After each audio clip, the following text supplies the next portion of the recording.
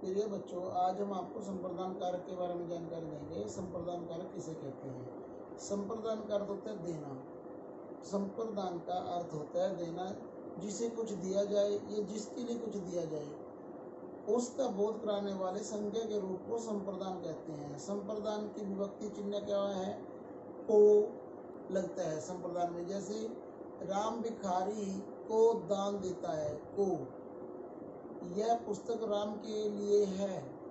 तो यहाँ संप्रदान कारक जैसे राम भिखारी को को आया है तो संप्रदान कारक है।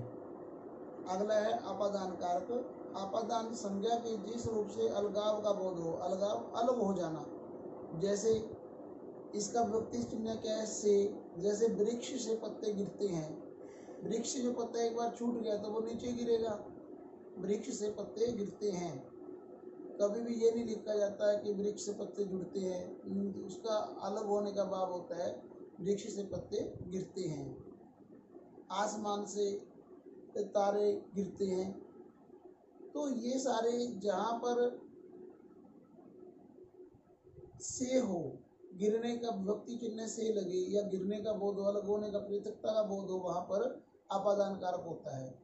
कि जिस रूप से किसी वस्तु, व्यक्ति का संबंध प्रकट किया जाता हो तो वहाँ संबंध कारक होता है। इसका क्या है? का, के, की विभक्ति चिन्ह होते हैं। जैसे राम की पुस्तक, अब वो पुस्तक राम की है, इसलिए हम कहेंगे कि राम की पुस्तक की इसमें संबंध है। संज्ञा के जिस रूप में किसी व्यक्ति वस्तु या दूसरे व्यक्ति वस्तु से संबंध प्रकट किया जाता है और व्यक्ति चिन्ह का, के, की लगता है, वहाँ पर संबंध कारक होगा। और जैसे कि राम की पुस्तक है, राम की पुस्तक की बात की जा रही है, यहाँ पर इसी कारण संबंध कारक है। अधिकरण कारक संज्ञा के जिस रूप से क्रिया का, क्रिया के आधार का बोध हो, उसे अधिकरण कारक कहते हैं। इसका व्यक्ति चिन्ह होता है मे पेपर ने, पर, ऊपर आदि। जैसे पानी में मछलियाँ हैं और छत पर पतंग पड़ी है छत पर चार पाई पड़ी है।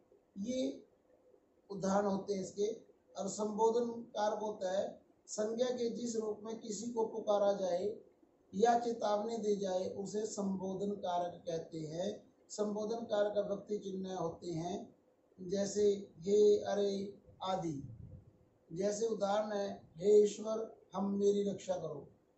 अरे कृष्णा, तुम कहाँ हो?